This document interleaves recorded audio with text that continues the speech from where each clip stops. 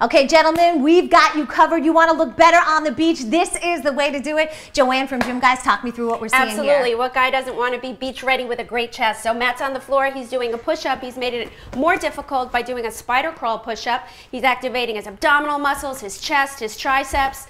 And now he's popping right up into an interval training cardio blast. This is called high knees, which you can do anywhere from 35, excuse me, 30 to 45 to 60 seconds, depending on your fitness level. Go, Matt. Go, Elizabeth. Go, go, go, go!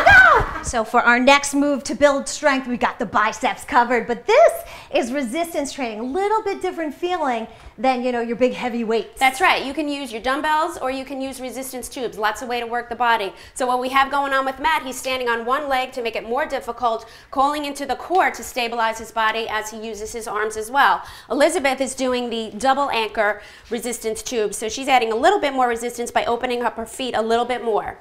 Next up, we're going to move right to the cardio blast. Matt's demonstrating an explosive move called a box jump. This is a high level move. Uh, if I'm at my house and I don't have the box like that, I can just use the step. Absolutely, and that's what we're about. Okay, and we're not done yet. We're keeping it going. What do we have going on here? We are keeping it going. This is a plank move with the added variation of a row. So every time he picks his, his hand off of the floor with the dumbbell, he's activating his upper back